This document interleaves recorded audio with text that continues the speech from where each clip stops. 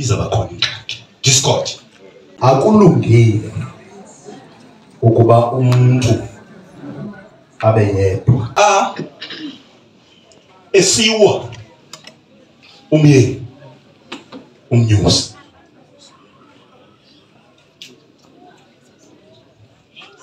awuzukwazi uyenza ke loo nto. Ewu ndiyakucela. Philanga kodwa ndiyakucela. Have this attitude yepolisa yokuthi before you attack you need evidence. Because umfazi. Sisitya sophatha inhliziyo yendoda. Uyayiva ke ngo ephathe eyigogoze nantsi into yobantu kuhlebeleyo xolele nto yabotata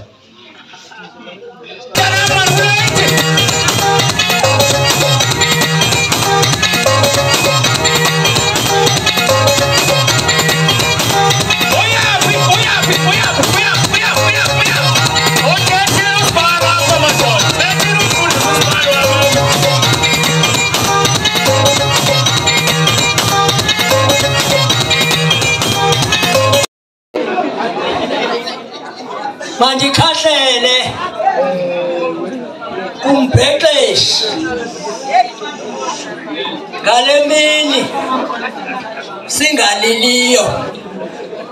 Akho nto imnandi njengomtshato.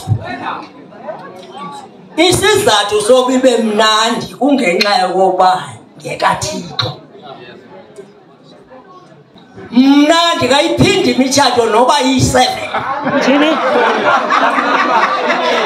Kuba uthi umfundisi apha ebhayibhileni akulungile umntu abe yedwa. Uyawuthini ke ngokuphikisana nothixo? Wow obakhe mntanam bathi abantakwethu make kuthethe mna.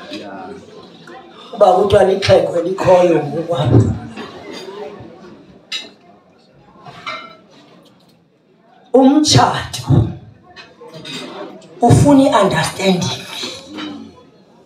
Ow akayichazanga umfundisi ndase ndoyika.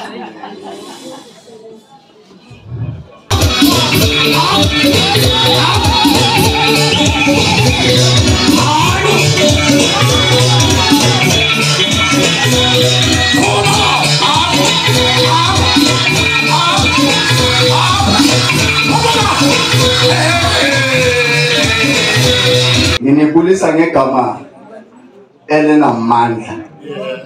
Igama eliwisa izintaba igama eliqhawula amaketane igama elisindisayo. igama elikhipha izifo emizimbeni yethu. Igama eliletha ukuthula igama eliwisa izintaba. Angazi ukuthi ufeyisane nani but ngokuthi nibe la it's a divine appointment. Hey. there's an anointing la. Ah izinqwelo zenkosi. Kuneqobo la. I've been praying. Ngushatani nguthandazisile lo mshado ngithandaza ngithi uNkulunkulu la siya khona let them see your glory through the brides and the groom.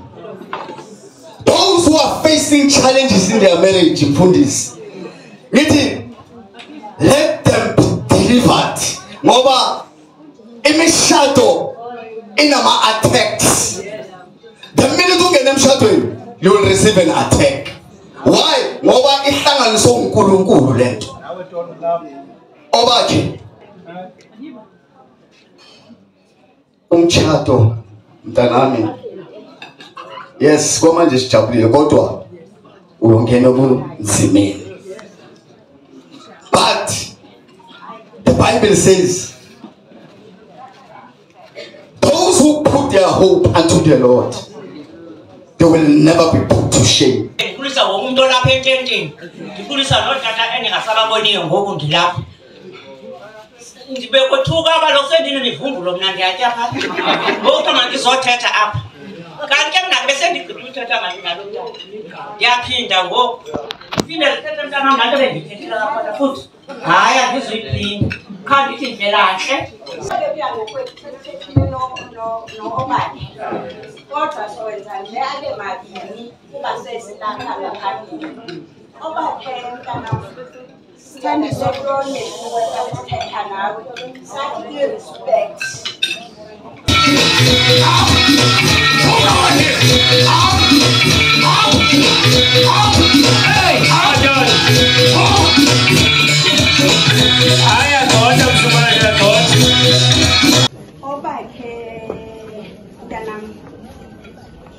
singumzwa kwamakhaya sikulomamapho intombazana uhambe kakuhle nantsika le ki- le le kist sikunikeza lekist laa kist which is a symbol okokuba ingcwaba lakho alisekho apha kwagcasamba uhambe kakuhle mntana sathanda kakhulu